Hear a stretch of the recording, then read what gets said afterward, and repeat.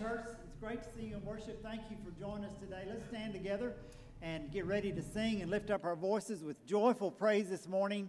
We have a lot to be thankful for. One of those greatest things to be thankful for is the cross of Calvary.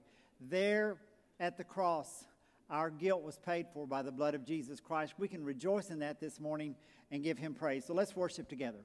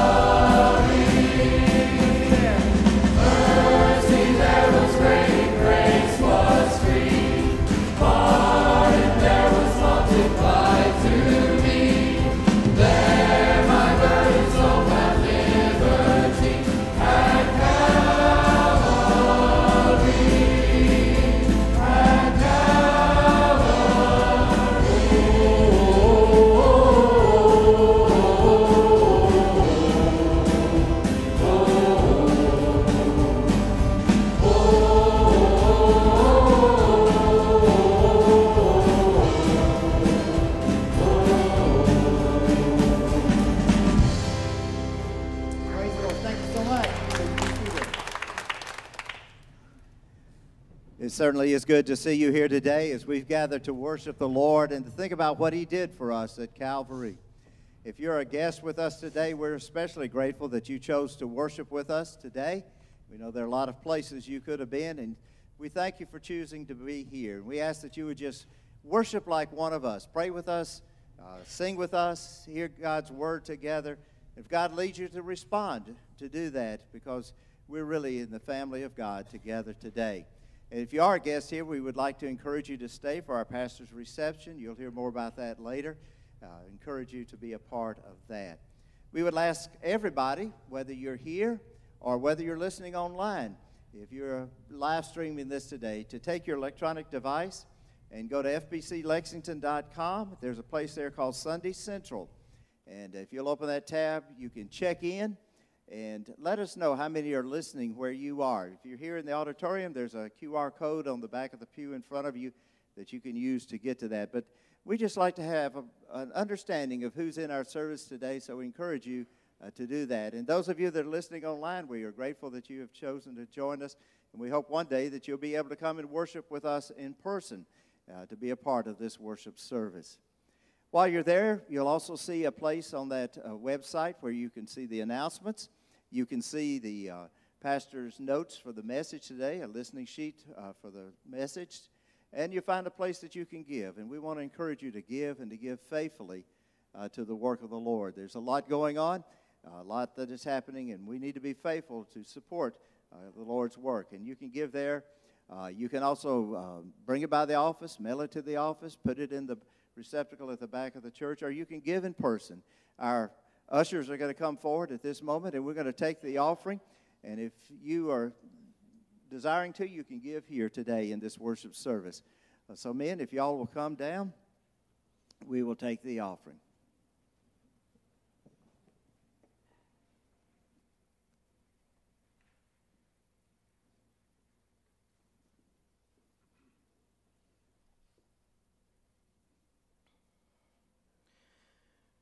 Father God, we take this opportunity to thank you for so many gifts that you've given us and blessings that we receive from you.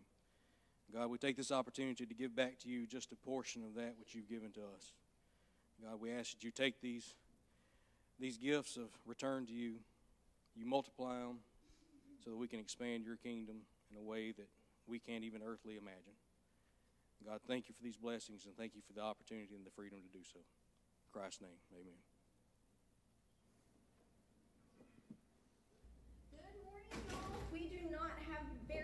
time this morning, so let's get down to business.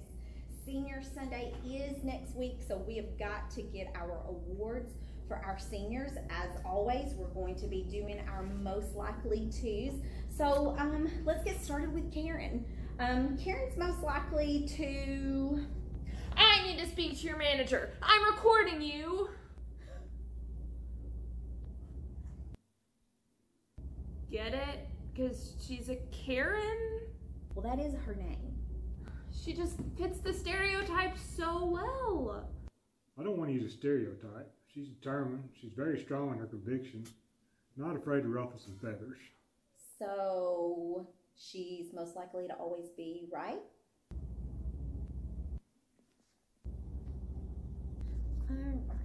Perfect. Uh, the next student is Chad. Chad is most likely to. Yo, dude! I'm definitely the biggest, strongest, bestest guy around.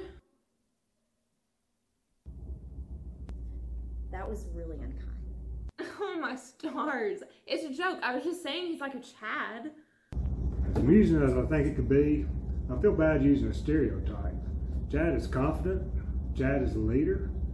Chad knows what he wants. So Chad is most likely to be in charge?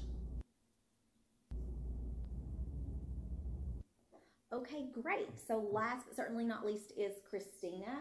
So Christina is most likely to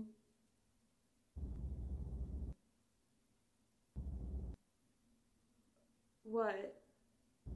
I was just waiting for you to make some kind of wisecrack about her. Well, nothing immediately comes to mind. She always seems to be willing to help people and is so good at loving them. I don't think I could bring myself to make fun of that. So you don't have anything snappy to say about Christina?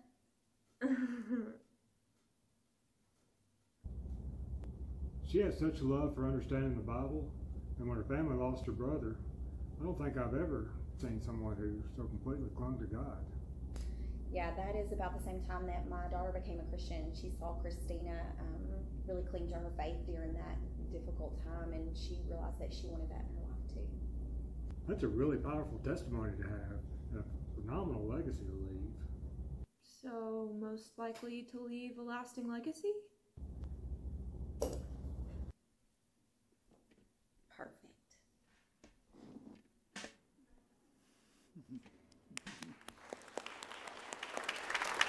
We have that same opportunity to leave a lasting legacy for those around us. Let's stand together and continue our worship. Sing with us. Give your joyful praise to the Lord.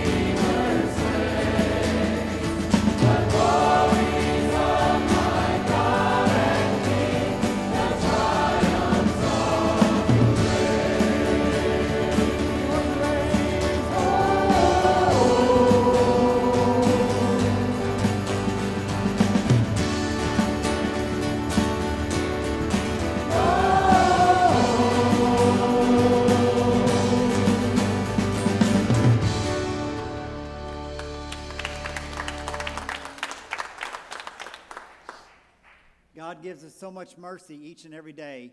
He said in Romans 12:1, in view of the great mercies that you received, live your lives as a living sacrifice, holy and pleasing to God. So let's respond to his mercy with our love, our faithfulness, and with our obedience.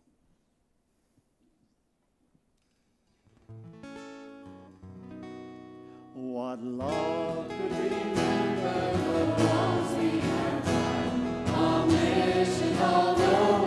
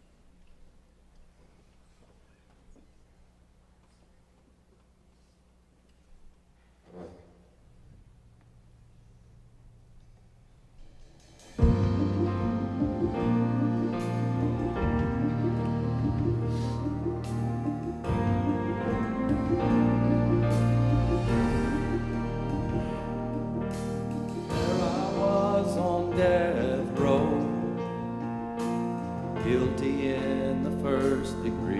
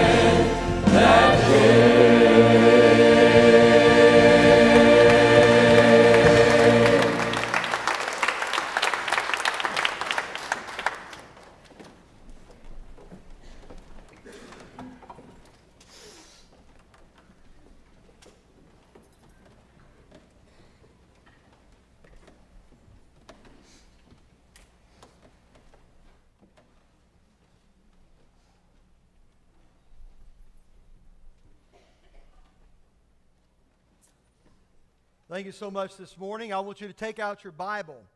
Look with me in Matthew chapter 3. We'll begin reading in a moment in verse number 1. We're going to continue our sermon series today of living and leaving a legacy. Today we want to talk about living and leaving a legacy of standing strong as we look at the life of John the Baptist from Matthew chapter 3. I heard about a man who smoked at least one pack of cigarettes a day. And then he began reading articles in magazines and newspapers and online. And he soon became alarmed between this strong relationship between smoking cigarettes and lung cancer. He finally made an important decision and he went to his wife and he said this Honey, I've been reading so many articles about smoking and lung cancer that I made a very important decision today. His wife said, Oh, that's wonderful. Tell me about the decision. He said, I've decided to quit reading. Not to quit smoking, but to quit reading. And you know, that's what a lot of people do, even in church. They'll read the Bible, they'll get convicted of their sins, and so they quit reading the Bible. They come into a worship service and maybe go to a Sunday school class and they get convicted of, of where they are with God, and so they just simply choose to quit, to give up. In our passage today, we see the life of John the Baptist, who was no quitter. He's not the kind of guy that would give up. He's not the kind of guy that would throw in the towel. He's not that kind of guy at all. In fact, he refused to give up. He was not the least bit intimidated by conventional wisdom, by religious pundits, or even those who would doubt the truths of God. He lived and left a legacy of standing strong for the Lord, regardless of the circumstances, regardless of the crowd around him, regardless of the criticism that may have come his way. He drew a line in the sand and he said, I will stand strong for Jesus. In fact, we know this is true because Jesus himself would speak to the legacy of John the Baptist in Matthew 11 11. Jesus told his disciples this about John the Baptist. He said, Truly I tell you, among those born of women, no one greater than John the Baptist has appeared. Wow. What a legacy. To hear those words from Jesus about our lives and our faithfulness and our witness and, and, and our willingness to stand strong in the face of adversity and persecution and hardship would just be absolutely amazing. Yet, this is exactly what Jesus said of John the Baptist. So, obviously, there's something in John the Baptist today that we need to learn from his legacy of standing strong. We read about this today in Matthew, the third chapter, beginning in verse number one. The Bible says, In those days, John the Baptist came, preaching in the wilderness of Judea, and saying, Repent, because the kingdom of heaven has come near. For he was the one spoken of through the prophet Isaiah, who said, A voice of one crying out in the wilderness, Prepare the way for the Lord, make his path straight. Now, John had a camel hair garment with a leather belt around his waist, and his food was locusts and wild honey. Then people from Jerusalem, all Judea, and all the vicinity of Jordan were going out to him, and they were baptized by him in the Jordan River, confessing their sins. When he saw many of the Pharisees and Sadducees coming to his baptism, he said to them, Brood of vipers, who warned you to flee from the coming wrath? Therefore, produce fruit with consist- that's consistent with repentance. And don't presume to say to yourselves, We have Abraham as our father, for I tell you that God is able to raise up children for Abraham from these stones. The axe is already at the root of the trees. Therefore, every tree that doesn't produce good fruit will be cut down and thrown into the fire. I baptize you with water for repentance, but the one who is coming after me is more powerful than I. I am not worthy to remove his sandals. He himself will baptize you with the Holy Spirit and fire. His winnowing shovel is in his hand, and he will clear his threshing floor and gather his wheat into the barn, but the chaff he will burn with fire that never goes out. Today we learn some very important characteristics about this man, John the Baptist, or John the Baptizer. And in learning some things about him, we ought to be able to learn some things about ourselves as well that will help us to live and leave a legacy of standing strong. The question has to be asked what was it in John the Baptist's life that we see which allowed him to live and leave a legacy of standing strong?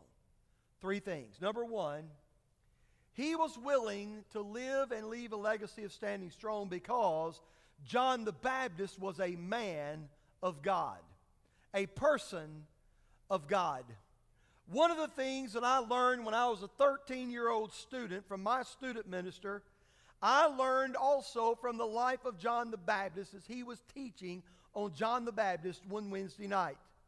What I learned was this truth it's okay to be weird for Jesus. That's what I learned. It's okay to be weird for Jesus. You see, God prefers that you and I not look like or live like everybody else in the world. God created you and He created me to be unique. There is no other person on this planet that's like you or that is like me. God has gifted us, God has given us abilities, God has created us to be unique, and He wants us to live in that uniqueness and use it to make a difference for Him in the lives of others all around us. And that is exactly what John the Baptist did in his world. In a world that he lived in the first century, where everybody was trying to blend in, where everybody was trying not to stand out or be noticed, especially by the Romans or the religious leaders of the day, John the Baptist stood out for the Lord. As a result, Jesus said, No one is as great as John the Baptist. He was a man of God. What about you? Could the same be said of you? Are you a man of God, a woman of God, a student of God? Or are you just trying to blend into the world, hoping nobody takes notice of you, but in doing so, you make no difference? Several things about John the Baptist that shows he's a man of God and was different. First, how he looked was different. He looked nothing like those around him. He was an Essene. He was from a small religious group that was dedicated to the things of God, that lived down where the, where the Dead Sea Scrolls have been discovered in Qumran. And so John the Baptist was a little bit different in the fact of the way that he looked. I mean, the Bible says that, like Elijah of old, he wore a camel hair garment and a leather belt. I mean, does that even go together? Who knows, right? But that's what he wore anyway. Everywhere he went, everybody recognized him because he wore a camel hair garment in the desert with a leather belt. He was certainly not a fashionista of his day, but his appearance alone would have gotten a lot of attention. And so, how he looked was different. Secondly, where he was located was different. He was in the desert, not in Jerusalem, not in a synagogue, not in the temple, but in the desert. he was down south near the Dead Sea in the Judean desert. The desert is really living on the fringe of society. The desert was a place of deprivation and death. The desert was a place of hardship and struggle. most people live their lives trying to avoid being in or going through the desert. But that's not what John the Baptist did. In fact, John the Baptist not only lived in the desert, but his ministry was in the desert. It's where he was preaching and baptizing people and showing them in the desert how life and hope can be found in the most unexpected of places, even in a desert. Thirdly, what he was leading was different. The way he looked was different, where he was located was different, but the way that he was leading was different. You see, John the Baptist was doing something completely different than everybody else around him. John the Baptist was baptizing people as a result of their repentance and confession of sin. Jewish people in the day of the first century, when it came to being, quote, baptized, this was not a new phenomenon that came about with John the Baptizer. In fact, even before the time of Jesus, even before the first century, Jewish people had religious customs and rituals that before they would go to the synagogue, before they would go to the temple, they would get down in a, for lack of a better term, a giant baptistry, a bathtub. And they would cleanse themselves. They would basically give themselves a bath. They would wash themselves so that they thought that the washing of themselves physically was a symbol of them washing themselves internally so that they would stand pure before God. And those, those baptismals are called a mikvah. In fact, you can go to Jerusalem today, and there in Jerusalem, you can go to the place where you would have walked in the days of Jesus up to the temple, and they have now unearthed all these baptisms, all these baptismal uh, waters where they were at the time. You can see where they were. So they would go through the baptismal waters and then they would go up to the temple. Well, what John the Baptist was doing was completely different than that understanding. He was saying those waters don't do anything but get you wet. And yes, you may be cleaned on the outside, but the cleaning you need is not on the outside. The cleaning you need before God is on the inside, and that only comes through confession and repentance. And when I baptize you, it is a symbol of your confession and your repentance. You see, John the Baptist wasn't going to allow God to be boxed in by human rules and rituals and traditions, and likewise, his baptism was a symbol of the repentance and confession of sin. He, think about John the Baptist. John the Baptist was, was, was inviting people to leave the city, to leave the comforts of their home, and go out into a dry, barren desert to confess and repent of their sins before God. He was asking them to walk out into the desert sands and to walk out of the sand, and right in the middle of the Judean desert, guess what there is? The Jordan River. I mean, what a contrast. A life giving river in the midst of the barren desert. And John said, You can walk out of the barrenness of the desert sands and you can walk into the river of life giving water. He was showing people very clearly that God doesn't just live in the temple in Jerusalem, but that when you confess and repent of your sins, God meets you right where you are, even in the desert experiences of life. And God Himself alone becomes the life giving, refreshing water of forgiveness, even though even though you may be in the desert. And like the river, God's love, God's mercy, God's grace flows into your life and into the life of anyone who is willing to get real before God, confess their sins, and who are willing to follow God. God is able to meet you, and God is able to meet your needs even in the dry, cracked, parched places of your life. He looked different. He was lo- where he was located was different. What he was leading was different. And finally, the way he lived was different. I mean, unlike the religious leaders of his day, John the Baptist understood the truth of God's word and he lived it out every day. He was a man of courage who was willing to take a stand for the Lord and take a stand for the word of God against all the politically correct, progressively woke crowd of his day, even those who claimed to be serving God. He understood that anyone could just go along with the crowd. Anyone could simply follow tradition for the sake of tradition. But he wanted to make a difference for Jesus. He wanted to prepare people for the ministry of Jesus and the sacrifice of Jesus. What about us, church? What about you, Christian? He was willing to be different so that he could make a difference. He was willing to be different so he could make a difference. I wonder today are we willing to be different so that we can make a difference for Jesus? Or do you just want to be like everybody else? What I know is this we need to help people all around us understand that there is living water in the desert of this life. Jesus is that living water. in fact, Jesus said to the woman at the well in John 4 14, But whoever drinks from the water that I give him will never be thirsty again.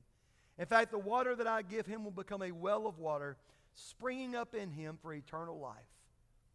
You know what? No matter today who you are, no matter where you've come from, no matter where you've been, no matter where you may be headed, there is water in the desert for your life, and his name is Jesus. John the Baptist was a man of God who lived and left a legacy of standing strong. Secondly, John the Baptist lived and, and, left a legacy of standing strong because John the Baptist was on mission from God. Not only was he a man of God, he was on a mission from God. Now, what about your life this morning? Are you living life with direction or no direction? Are you living life with purpose or no purpose? Are you living life without hope or with hope? Are you living life in the chaos and confusion of this world, or are you living life with clarity and commitment to the Lord? John the Baptist lived his life on mission from God. Two things you notice about that. Thing number one, you see the purpose of his life was in Jesus. The purpose of his life was found in Jesus. You know, apart from Jesus Christ, John the Baptist is probably the most theologically significant figure in all the Gospels. Like Jesus, his cousin, his entrance into the world was, was marked by the announcement, a proclamation by an angel, and divine intervention. His public ministry ended when he started preaching. It, had, it ended 400 years of silence where there had been no prophet in the land for 400 years. Four centuries, not a word from God, not a prophet until John the Baptist showed up, and the first thing he did was preach repentance. Listen to how the Apostle John in the Gospel of John describes John the Baptist. In, in the Gospel of John, chapter 1, verse 6 through 9, he says this There was a man sent from God whose name was John. He came as a witness to testify about the light. The light is Jesus so that all may believe through him. He was not the light, but came to testify about the light. The true light that gives light to everyone was coming into the world. In the Gospel of John 1, verse 23, John the Baptist talked about his purpose being found in Jesus. When John the Baptist says of himself, I am the voice of one crying out in the wilderness, make straight the way of the Lord, just, Isaiah, just as Isaiah the prophet said. In his book, The Purpose Driven Life, author and pastor Rick Warren says this about the value of finding your purpose in the Lord Jesus Christ. He says this, and I quote Rick Warren says, Without God, life has no purpose. And without purpose, life has no meaning. Without meaning, life has no significance or hope. You cannot fulfill God's purposes for your life while focusing on your own plans. So, whose purposes are you living for today? It's fair to say this morning that if you do not find your life's purpose in living for and serving Jesus, then you will surrender your life and your opinions and expectations to others, the expectations of others, to things like money, to things like resentment or fear or anxiety or your ego. You, you, you are designed to worship God. He created you for Himself. He created you to worship Him and to serve Him and to serve others. And if you fail to do so, then what you will do, you will substitute God in your life and for other things that you create. And you will give your life over to these idols of this world. And far too many people who walk through the doors of the church on Sunday, they're living for and giving their lives to the purposes of other people and other things and other groups and other organizations, or they're living life for their own purposes and not for the things of God. And when we do that, we forfeit the rich blessings of God in our lives. John the Baptist, the purpose of his life was in Jesus. Secondly, the priority of his life was in Jesus. I could say a lot about this, but let me just say very quickly Jesus was such a priority for the life and ministry of John the Baptist that he would say in the Gospel of John, verse chapter 1, verse 27, He is the one coming after me, whose sandal strap I'm not worthy to untie. I mean, Jesus was such a priority to him. He said, Let me tell you something about Jesus. He is so great. He is so marvelous. He is so magnificent. He is so powerful that I am not even worthy to take the dusty, dirty, nasty sandals off his feet. His purpose for his life was found in Jesus. The priority of his life was found in Jesus. John the Baptist lived and left a legacy of standing strong. Why? He was a man of God who was on a mission from God. And one final quick thing. He lived and left a legacy, a legacy of standing strong because John the Baptist had a message from God. A message from God. Right there in verse 1 and 2, it said, In those days, John the Baptist came preaching in the wilderness of Judea, saying, Repent, because the kingdom of heaven has come near. His message was simple, his message was straightforward. I mean, think about it. He spent 30 years preparing to preach this message. And when he stood up and he preached, his message was short Repent, for the kingdom of heaven has come near. I mean, you would think in 30 years of preparation that his sermon may have been more than that. But he said, There's nothing more than that. You've got to repent. You've got to repent. It's amazing what he said here. He said, Confess and turn away from your sin while you still can before it's too late. It's amazing to me to think that John the Baptist's first sermon and Jesus' first sermon was the same sermon. Repent. The kingdom of heaven is coming near. We know that to repent is to confess your sins and mistakes and failures to God and take a new direction in your life. It's turning from sin and self and turning to the Savior. Pastor Robbie Gallaty at Long Hollow Church in Gallatin wrote this about repentance. He says, Repentance is an inward, deeply introspective understanding that produces an outward, measurable shift in your actions and desires. It's an about face. Three quick things I want to say to you about this repentance preached by John. Number one, you see the application of repentance. What was the application of repentance? It is when you apply repentance to your life, what you receive is forgiveness. Forgiveness. If we repent and turn from our sins, we can experience God's forgiveness in our lives for our sins, mistakes, and failures. When we confess our sin, we are agreeing with God and seeing sin in our own life the way God sees it. Now, it's for this reason of the dramatic shift and change in our life that we know that many people who walk through the doors of the church have never truly repented and turned from sin. Because everywhere in the Bible where you see that true repentance took place that always resulted in a changed life. Every time. Every time. If there is no change, there was no repentance. If there is no change, there was no confession. And if there was no confession and there was no repentance, there was never salvation.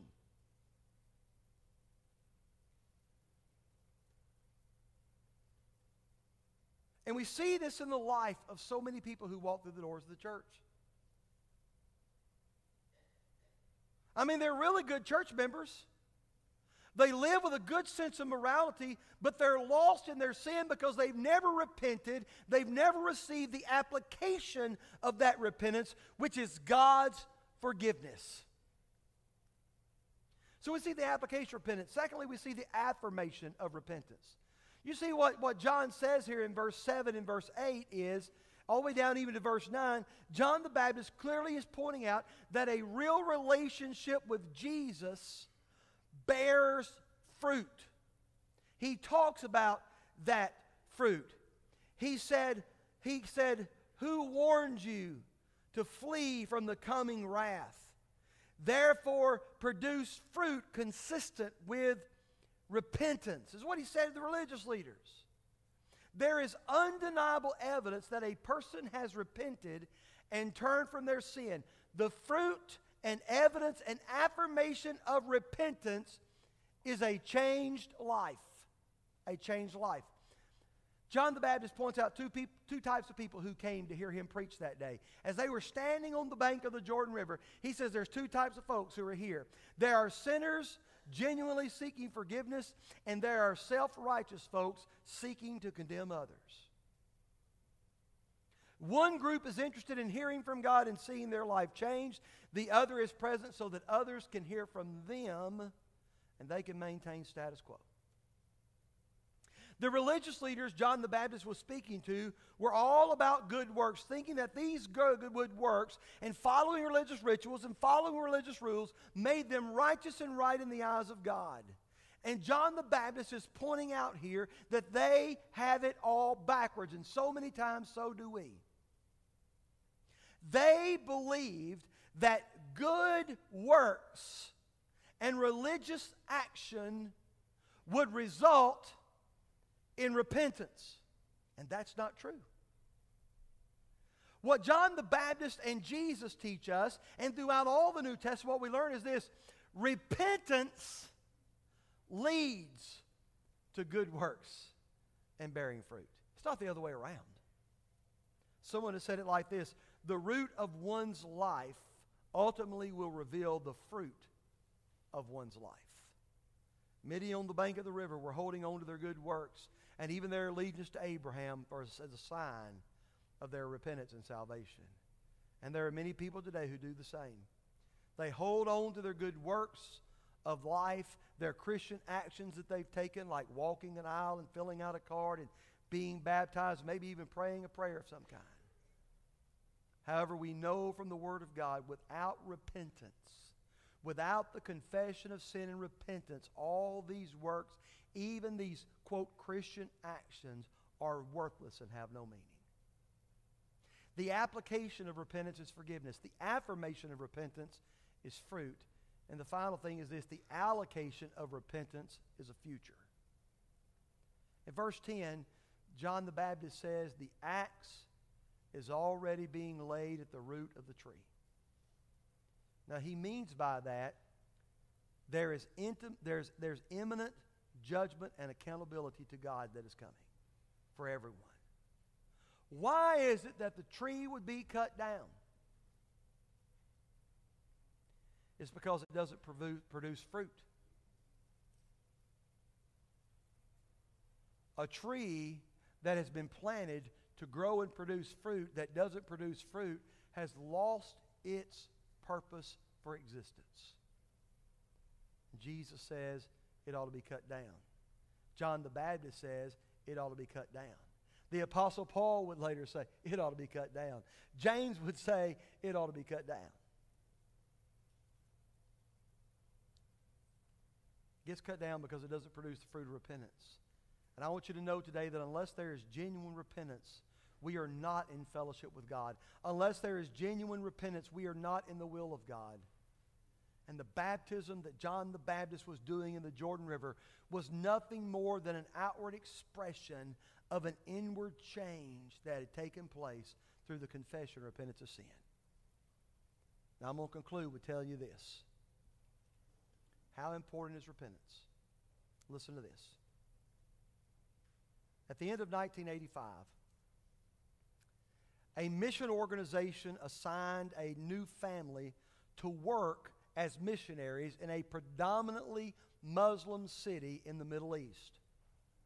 For decades, this evangelical denomination had labored in that city with missionaries, and over all those decades, only had produced five small, weak mission churches that each had just a handful of members. So, this new mission family came into that predominantly Muslim city and they gathered together the other 14 members of those churches and they began praying together for God to do have a breakthrough in the lives of Muslim people. They started out praying for God to save Muslim people, for God to change Muslim people. But during that all night prayer meeting, God spoke to the missionary families and the church members and said, basically, the problem is not with the Muslim people. The problem is, I do not have a clean vessel in this city that I can use. I don't have a clean vessel in the city that I can use. And the missionary families and these few members fell on their face in the dirt floor and they began confessing and repenting of their sin. And God revealed everything in their lives that was hindering their work and the movement of God in that city.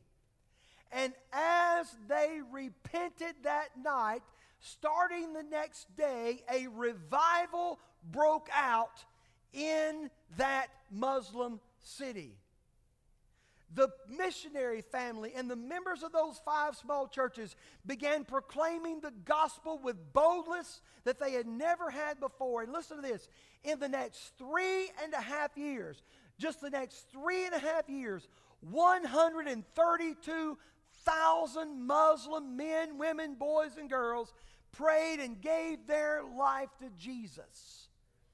And by 1989, the beginning of 1989, three and a half years later, those five churches was now 156 churches in three and a half years. Now, how did it come about? How did it come about? Repentance. repentance. There is no revival unless there's first repentance. There is no renewal unless there's first repentance. There is no revitalization unless there's first repentance. There is no salvation unless there is first repentance. And maybe it is the reason that we are not as effective as we ought to be. Maybe the reason we don't see God move the way we want God to move. Maybe the reason our city is not different, and our culture is not different, and our family is not different, and our school is not different, our teams are not different, and our jobs are not different, is because maybe, just maybe, we've not stopped being religious long enough to realize that what God wants from us is not more religion and not more rituals, but what God wants from us is repentance and a true relationship. And today you can have that. Dear friends, if ever we were living in a day of deserts, it's right now. We're living in the desert. But the Jordan River runs right through the center of the desert. And John the Baptist steps out of the desert and into the river. And John the Baptist says, Hey, guys, everybody that's standing in the desert right now, listen to me.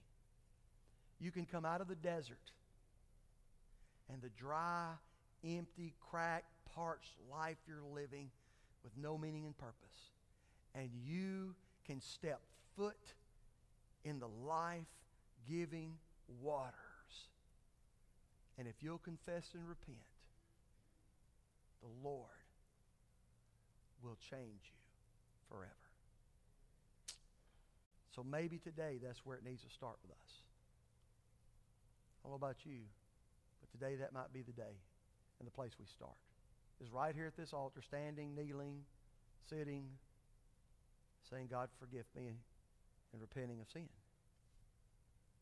For some, that repentance is going to look like salvation because if you come and confess and repent of your sin and really humble yourself before God, for the first time, you're going to be saved, no matter how many times you've been baptized or filled out a card or walked an aisle or whatever. And there are people that need to do that today. Some need to come publicly professing their faith in Jesus. Some need to come and join this church. Some just need to come to this altar and get some things right.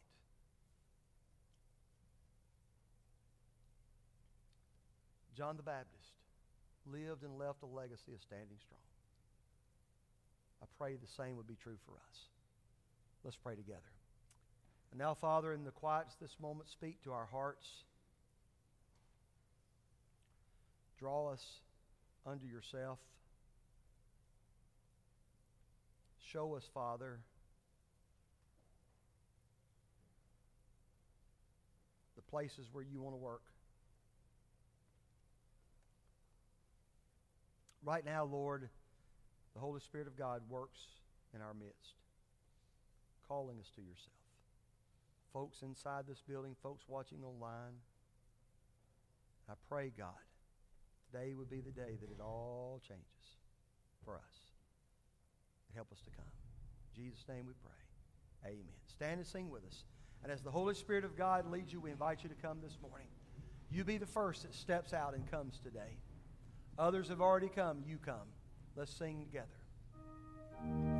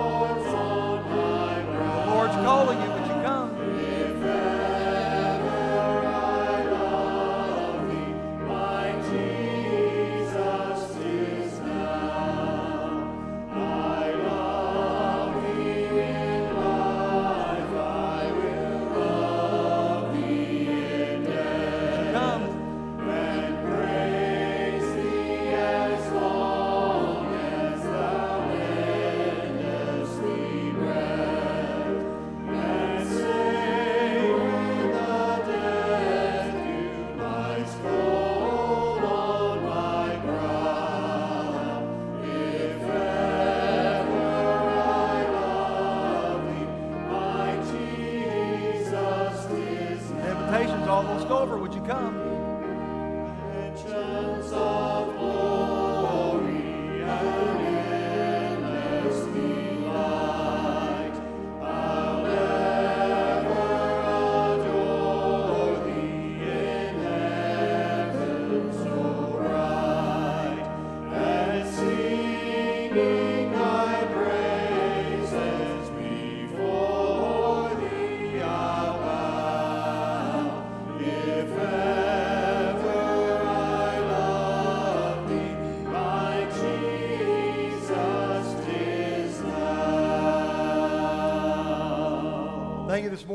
Will, be seated for just a few moments. If you're out there watching online today, you can continue responding to the invitation today right there at fbclexington.com Sunday Central. You can find a tab that says Responding to God. It's a red tab. You can click on that red tab and you can, you can fill that out, and that's going to come directly to me. And you can tell us the decision you've made today, or you can text us at 81010 and in the subject line put at FBC Online. Someone will immediately respond to you, and you can tell us who you are and the decision you made, or you can email me today at clayhallmark at fbclexington.com.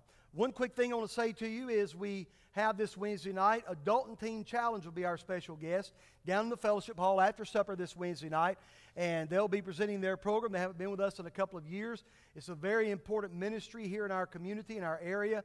Our Lifeline Recovery that happens on Monday and Thursday night is partnered with uh, teen, Adult and Teen Challenge. So you'll want to come and be with us this Wednesday night as we do that. And then the subsequent Wednesday nights, we're going to be having some special, uh, special uh, times together as we'll be having some mission reports and other things. And then, the, then in September, we will launch into all of our new life groups. One of the things that we always do here at First Baptist Church as school is beginning is we want to take time to be able to pray for all of our administrators, our teachers, our faculty members, our, our homeschool parents, all of those things uh, here in our church. So if you are one of those people, if you teach anywhere around in any of our school systems, or you're a homeschool teacher or anything like that, I want to invite you to come from where you are right here at the front right now so that we can pray over you. So if you would get up and if you would come, please.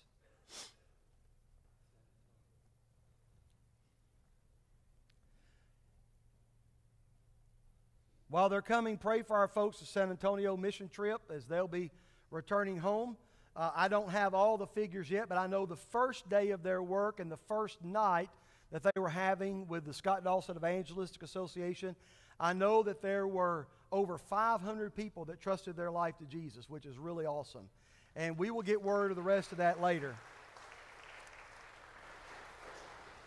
And we will get word the rest of that later. They'll be reporting to us here in just a couple of weeks on a Wednesday night, and so we want to certainly do that. Now, this morning we have uh, uh, a lot of our folks still coming. There you go. Uh, we are so thankful that we have a church that is filled with people that work in our school systems all around our area that are homeschool parents that give their life each and every day to the lives of our students. And we are so very, very proud of them, so very thankful for them. So this morning, I'm going to ask you if you would to join me, not just praying for them today, but you'll pray for them the days to come as they have the opportunity to be shining lights for Jesus Christ in the lives of students right here all around our area. Let's pray together. Father, I thank you so much for each and every one of these, Father, who are standing here today, for those that are out there watching online today, those that were also in first service today. We thank you for their sacrifice. We thank you for their commitment. We thank you for their dedication, not only to one another and to the places where they serve, be it in a school or a school system or their home, Father, but the fact that they are committing themselves first to you. And in doing so, Lord, they're then committing themselves to their children that they teach, the students they come in contact with, and the opportunity they have to make a difference. I pray, God, your blessing over each one of these. We pray that you would protect them. We pray that you would give them wisdom. We pray that you would help them to seek you in all things.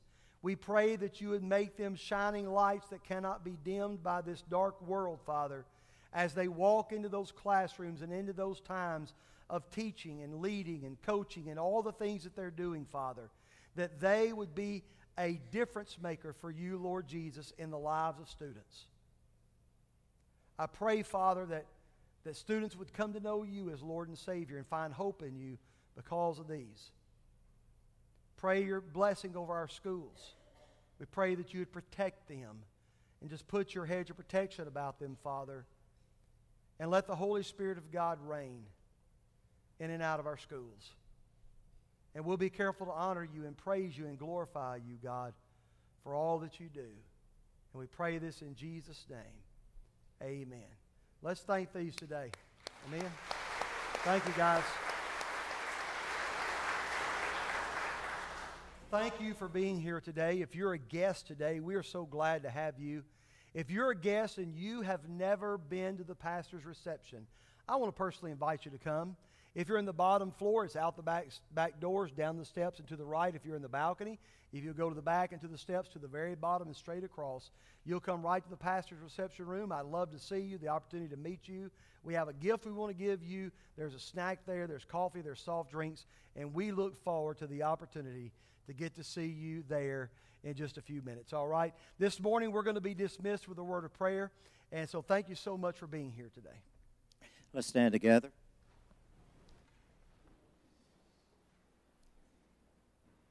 Father, we thank you for the opportunity you've given us to worship you today. And we pray that as we go forth from this place, we'll carry that good news that we have talked about today the need for repentance, but your willingness to forgive.